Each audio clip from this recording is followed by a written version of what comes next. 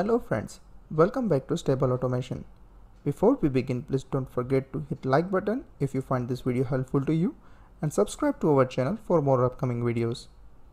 You can also contribute small amount as a thank gesture to our channel.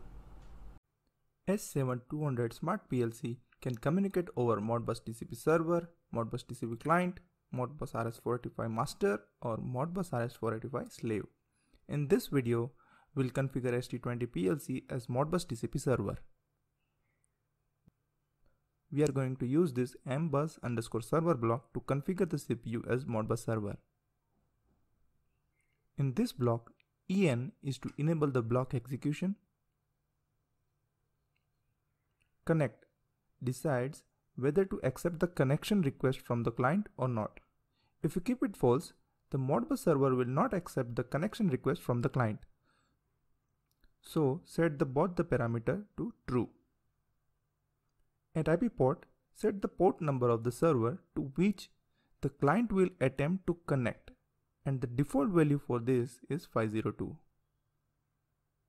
Max IQ Number of input I and output Q available on the Modbus server. 0 to 256 can be set here. Set 0 to disable the input output read or write on the Modbus server. Digital input will be available on input status 10001 and digital output will be available on coil status starting from 1. At max AI, set the number of input AI words to make available on the Modbus server.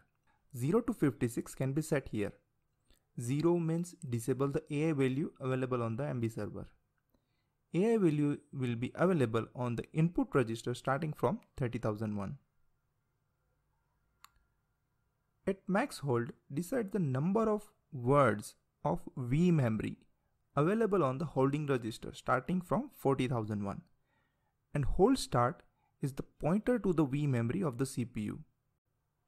So starting from the hold start, value of the V memory will be available on your holding register.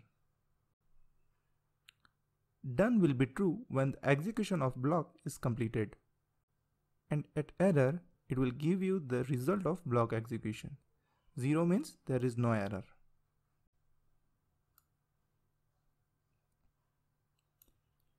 Here I am creating a new program, setting the IP address of my PLC,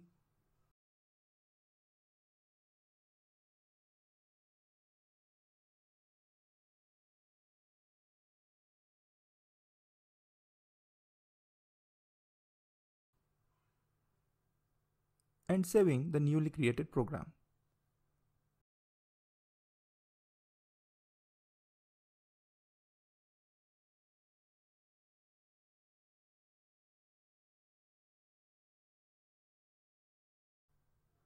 Now, Modbus server block can be found under the library section. Drag and drop this block to the work area.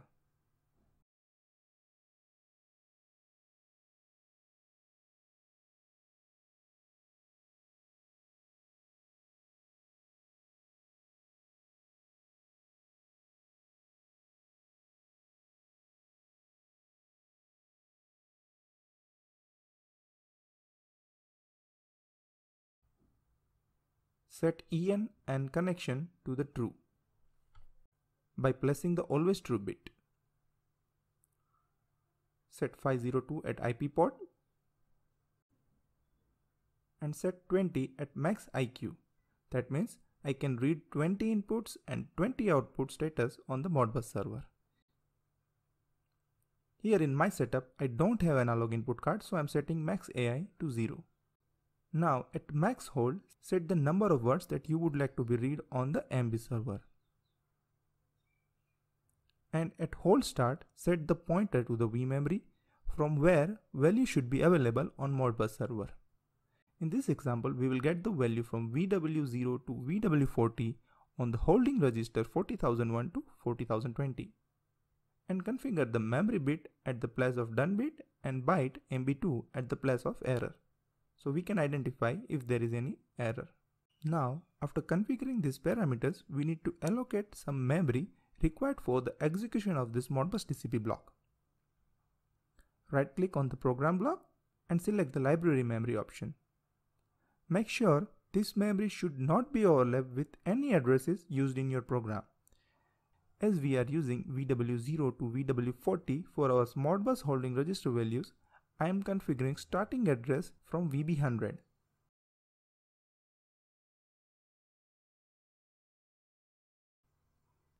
So let us cross check again. Okay, so it is starting from VB100. Now let us download the program to the CPU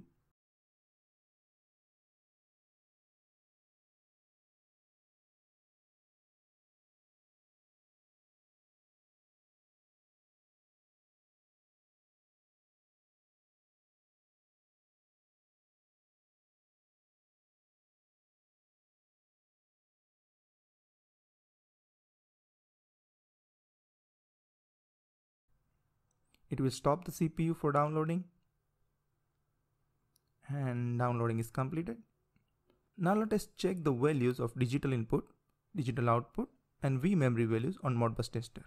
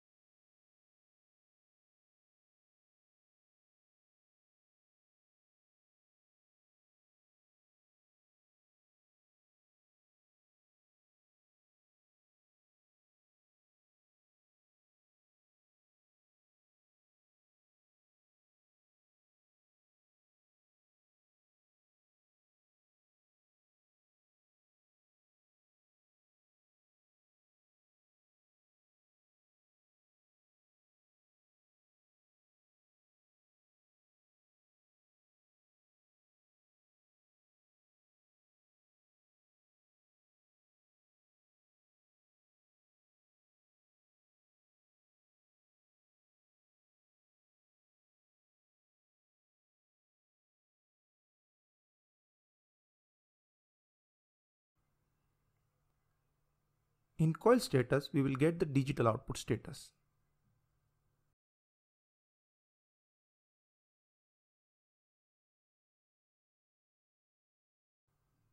You can notice that if I am changing the value from ModScan, then the same output is changing on the CPU.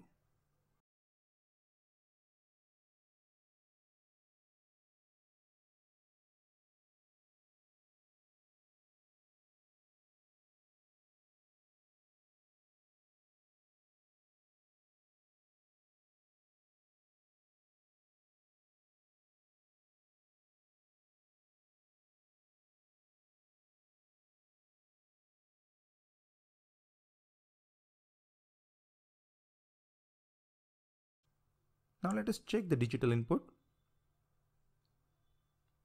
I am giving 24 volt to digital input on the CPU. You can observe the changes on the CPU and the ModScan at the same time.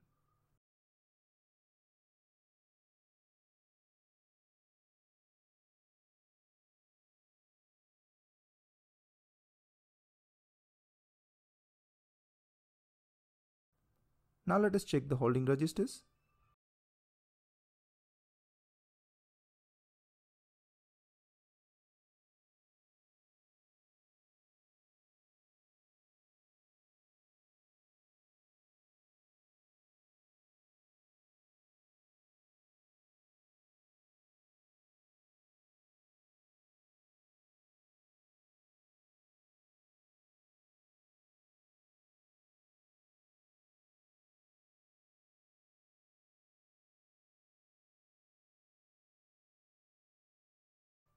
So I am changing the value from Modbus client and the same is changing on the CPU and vice versa it's also working.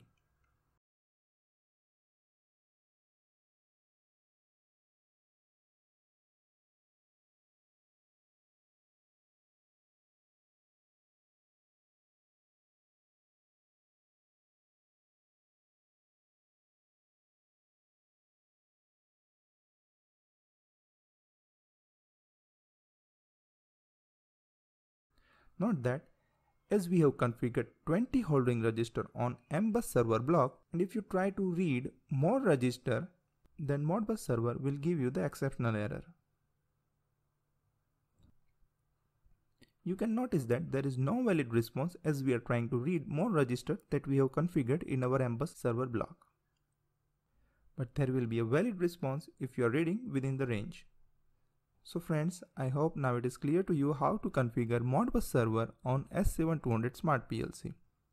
Don't forget to hit the like button and subscribe to our channel for more upcoming videos. Thank you for watching and see you in next video.